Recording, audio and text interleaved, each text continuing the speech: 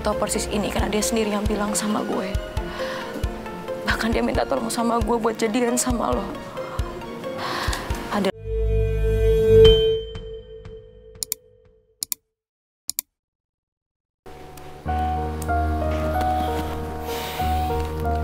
Padahal kan papa tadi cuma mau nanya. Reva kan mau ngasih jawaban.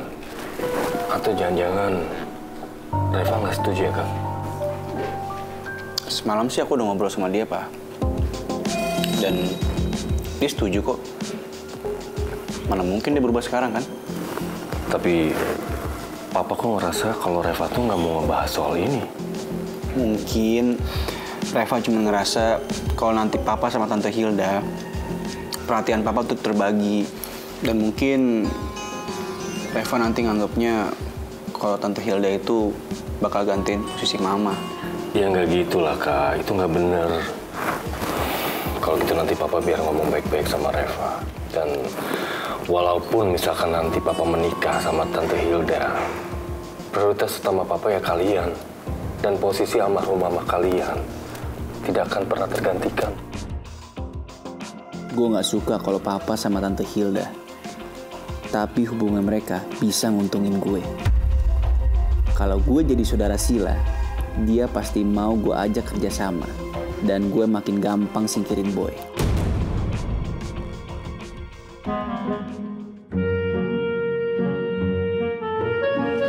es balok. Cinta, Hai, good morning. hai, good morning, guten morgen. Um, aku minta maaf ya, tadi kan pas kamu telepon itu aku lagi sarapan sama papa sama Kak Dean. Makanya aku bilang ke mereka kalau kamu itu ojol. Gak apa-apa, kamu harus minta maaf. Aku beneran jadi ojol demi kamu juga rela. Udah deh, kamu tuh pagi-pagi nggak usah gombal ah. Enggak, kamu tuh harus bisa bedain mana gombal, mana ketulusan. Memang terdengarnya seperti beda-beda tipis, tapi yang ini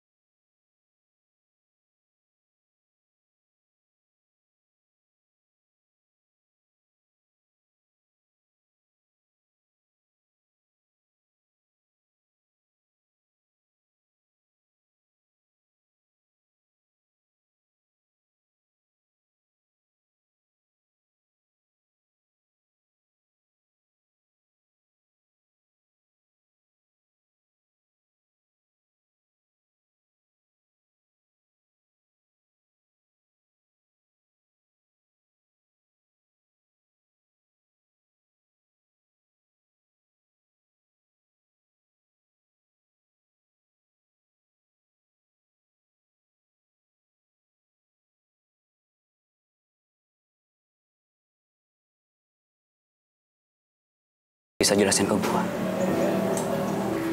Di mana letak kesalahan gue. Sampai lo nyuruh gue untuk ngejauhin lo. Sebenarnya lo nggak salah apa-apa kok.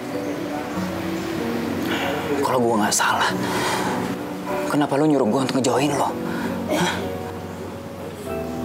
Karena gue tahu lo lagi deket sama Adel.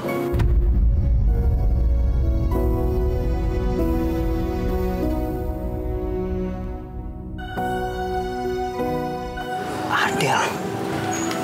Lo kenal sama Adel? Mamanya Adel, kakaknya papa gue. Gue sama Adel sepupuan. Gue nggak masalah Simon. Gue gak masalah kalau lo nggak cerita sama gue kalau lo lagi deket sama Adel. Tapi gue lebih memilih menjauh. Karena gue mikirin perasaannya Adel. Raya, please, lo dengerin gue. Gue sama Adel nggak ada apa-apa. Gue cuma teman baik doang. Gue kenal sama Adel juga nggak sengaja. Karena mobil dia nabrak motor gue. Udah nggak lebih. Dan gue ketemu lagi sama dia. Itu pun nggak sengaja. Gue bantuin dia karena mobilnya mogok. Dan akhirnya gue bantuin dia untuk ngirimin karangan bunga. Lo inget nggak? Waktu lo salah paham, gue nganterin bunga ke cewek. Yang lo pikir gue deket sama cewek. Itu karena gue nganterin karangan bunga dari Adel. Gue sama Adel tuh nggak ada perasaan apa pun. Jadi please, lo jangan salah paham sama gue. Tapi Adel cinta sama lo, Mon. Dia berharap banget bisa jadian sama lo. Gue tau persis ini karena dia sendiri yang bilang sama gue. Bahkan dia minta tolong sama gue buat jadian sama lo. Adel selama ini nggak bilang siapa orang yang dia cintai. Baru pas kemarin kita janjian di kafe, gue tahu ternyata orang yang dicintai sama dia itu Allah.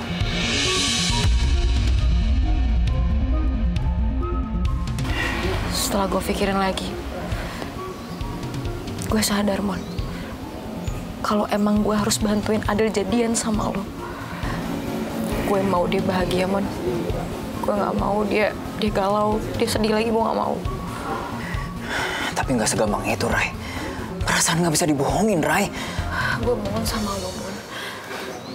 Gue gak mau Adel sedih, gue gak mau Adel galau. Cuman lo doang. Lo doang penyemangat dia. Setelah dia disakitin sama mantannya, ditinggal nikah sama mantannya. Gue gak mau dia sedih, Mon. Gue mikirin perasaan dia banget. Saking gue mikirin perasaan dia, gue... Gue bantuin dia biar jadian sama lo. Jadi lu berharap gue deket sama Adel. Gue jadian sama dia. Itu mau lo. Iya. Karena Adil cinta sama lo.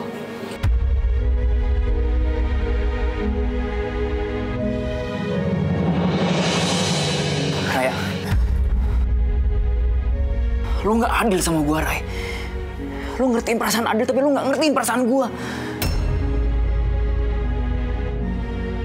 Dari awal gua kenal sama Adil. Sedikit pun gua nggak cinta sama dia. Gak segampang itu, Ray. Gue bisa ngerubah perasaan gue ke Adil. Dan gue yakin, Adil orang yang baik dan berpikir dewasa.